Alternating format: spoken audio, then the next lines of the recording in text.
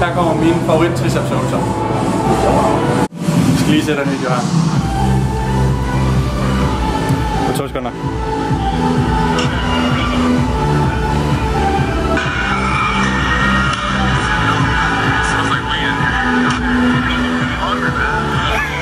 I'm hungry, man. Lad os komme i gang.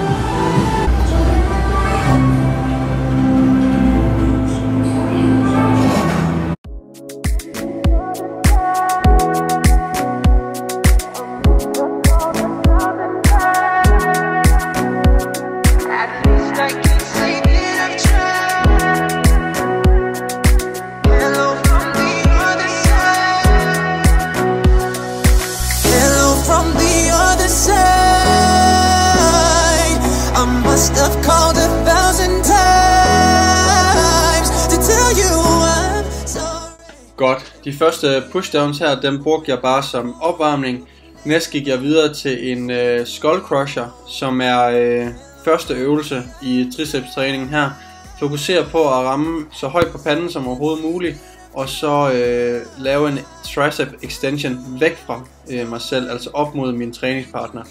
Derudover så fokuser på at holde albuerne så tæt ind mod hinanden, som jeg overhovedet kan, for at få maksimal tension på triceps.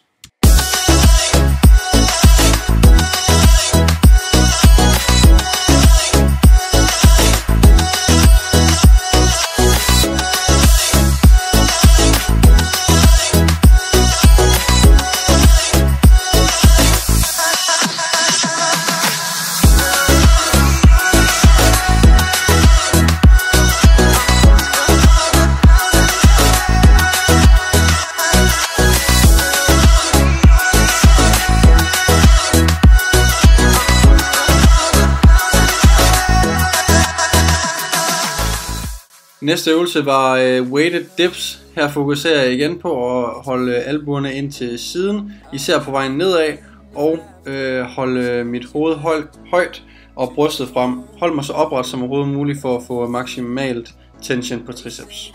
I'm supposed to heal you, but I ain't done much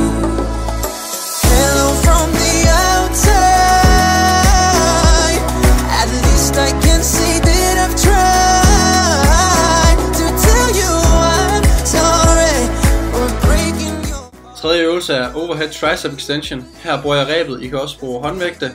Den her øvelse fokuserer på at få maksimalt stræk ved at komme helt ned, spænde min biceps og komme helt op, få en god contraction ved at rotere min øh, håndled udad.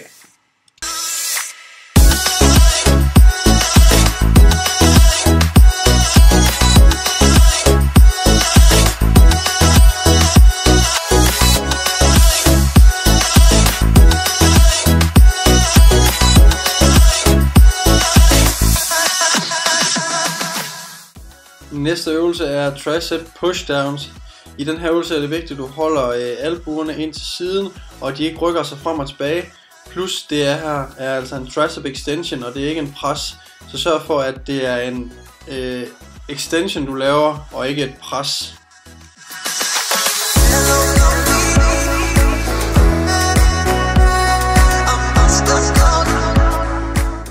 Næste øvelse er den her øh, tricep extension, hvor jeg griber et kabel fra øh, den modsatte side, og så fokuserer jeg på at have brystet fremme, skulderbladene tilbage, og ikke mindst albuerne en lille smule bag ved mig selv. Så når jeg laver en tricep extension, så fokuserer jeg på at holde kablets retning, så jeg laver et øh, flot kryds, kan man sige, med kablerne, og prøver at squeeze så langt om bag ved mig selv, som jeg overhovedet kan. I used to be so happy, but without you here,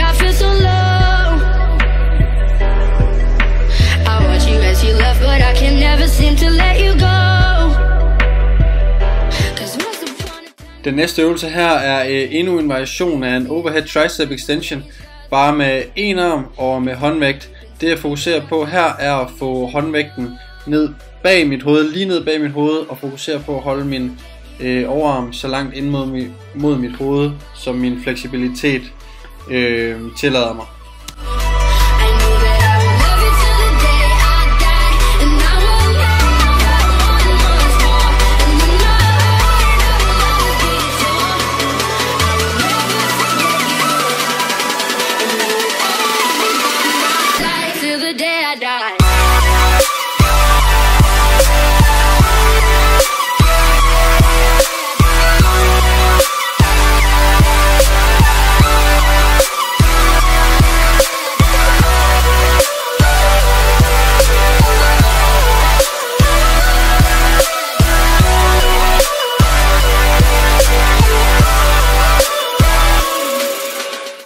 Så det I ser her, det er et øh, mekanisk dropset af tricep pushdowns med to ræb. Grunden til at jeg bruger to ræb, det er så i den første del, øh, hvor jeg står længst fra øh, kabelstativet, at jeg kan få min arme om bag ved mig selv. Øh, mekanisk dropset betyder, at øh, jeg ikke dropper i vægten, men jeg dropper i øh, musklens styrkekurve. Så jeg starter fra hvor øh, musklen er allerkortest, øh, i den korteste position, hvor den også er svagest, og så arbejder ind øh, mod midten, hvor min triceps automatisk bliver stærkere, og derfor kan jeg lave flere reps med samme kilo. Til sidst slutter jeg af her med lige at, og hvad hedder det, og strække den ud i en overhead tricep extension endnu en gang, bare for at slutte godt af.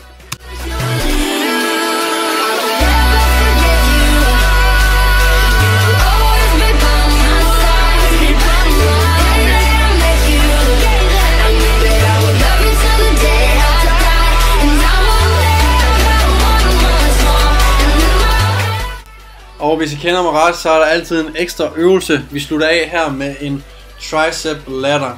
God fornøjelse med triceps træning fremover.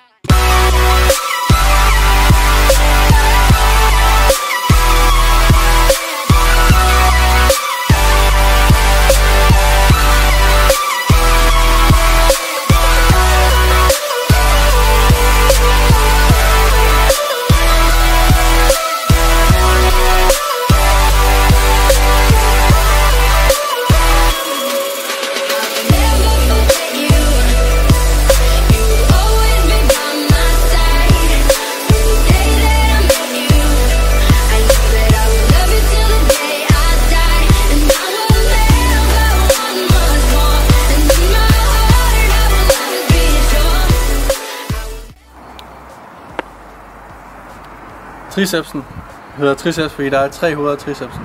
I den her træning øh, rammer vi alle tre hoveder i øh, tricepsen, plus vi kommer igennem hver enkelt del af styrkekurven. Det vil sige, at vi kommer fra den mest øh, fra den position, hvor musklen er kortest, til den position, hvor musklen er øh, længst, altså mest øh, strukket ud, øh, og alt imellem. Så der var otte øvelser i alt der.